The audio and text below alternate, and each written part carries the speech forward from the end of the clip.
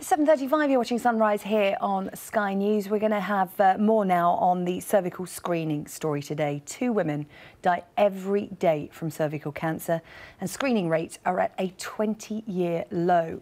Well, the government has today launched a campaign that includes a television advert to try and encourage women that though it may be an awkward five minutes, a smear test could save your life. Well, let's speak to the Public Health Minister, Steve Brine, about this. Good morning to you, Mr Brine. Morning. Um, why are rates at a 20-year low? Why aren't women going for routine smear tests? The NHS sends them letters to remind them.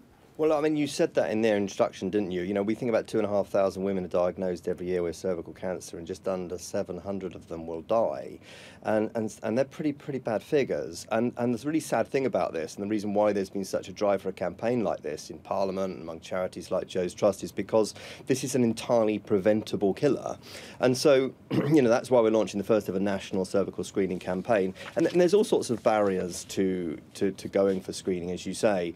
Um, so so there's sort of misunderstanding, I think, as to what screening is. So unlike breast screening, where you know you are looking for a, a lump that, that ultimately is breast cancer. With cervical screening, you're looking for abnormal cells or the HPV virus, which which could, I underline could, lead to cervical cancer, uh, uh, but then therefore can, you know, it's an entirely preventable process. There's also the whole uh, pain and embarrassment factor. So, you know, if, if one person goes for a screen and, it, and it's uncomfortable, you know, they then might spread that word. Whereas actually, you know, clearly I'm a guy talking about this, but and it can be can be painful and obviously it, it is embarrassing.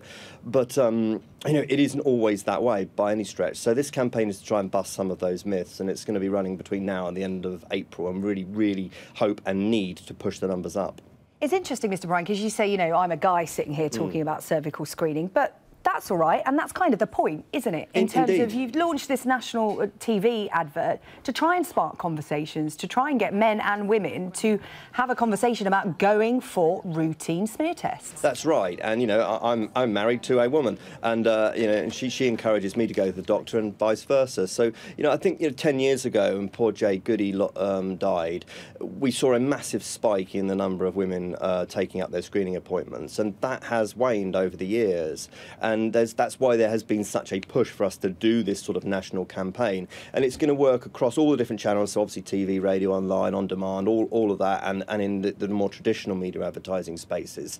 And also, specifically, we want to target younger women because they're the ones that are not taking up the appointments, and, and women in the BAME community. And there was a lot of coverage yesterday about, about, about those women not taking up their appointments. So, you know, it's about who is the messenger of this really important public health message. And, uh, you know, we really, really really need to push up the numbers because yes, it can be painful, yes, it can be embarrassing, uh, yes, there's lots of misunderstandings about this, but I've met far too many women and far too many families who have either contracted cervical or, or lost somebody to cervical cancer, and, uh, and it's entirely entirely avoidable. Yeah, and it's interesting, you mentioned the word painful there. That is a, a, big myth, actually. I'd say it's uncomfortable rather than painful. Speaking as a woman who has been for mm. a smear test, I know a lot of women who will be sitting at home going, it's not the most pleasant thing, but it's certainly not painful, and it's certainly worth five minutes of your time. Because just looking at the statistics, doctors saying with more tests done, they could lower the number of cervical cancer cases by a whopping 83 percent. This exactly can make a huge difference just by giving up five minutes of your day. It really is, you know. And when I'm I'm the cancer minister, when I talk to you know cancers like pancreatic cancer, for instance, you know, which has a very poor survival rate, it is just really really difficult. And cancer is indiscriminate and it is dangerous. But this is one of those cancers. You know, when I first met Jo's Trust, when I took up this job, they said, you know, this is one that we can do. This is one that we can bust. So so it is about people taking up their screening, but also, you know, there's also other things that we can do as government. So we introduced the HPV um, vaccine program program for girls a number of years ago, and just last year, last summer, I announced that we're going to extend that now to boys. And that's really, really important because the vast majority of cervical cancer cases come out of the HPV virus.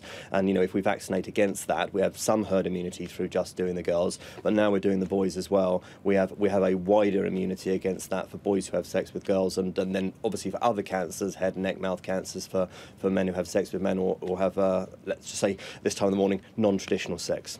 Yeah, OK. Uh, Steve Brine, thank you very much. It's an important issue to flag up this morning, and hopefully uh, a lot of women watching this morning will check uh, when their next routine test is. Uh, for most of us, it's one every three years. Check uh, when your next appointment is. Steve Brine, thank you very much for talking to us about uh, cervical screening here on Sunrise this morning.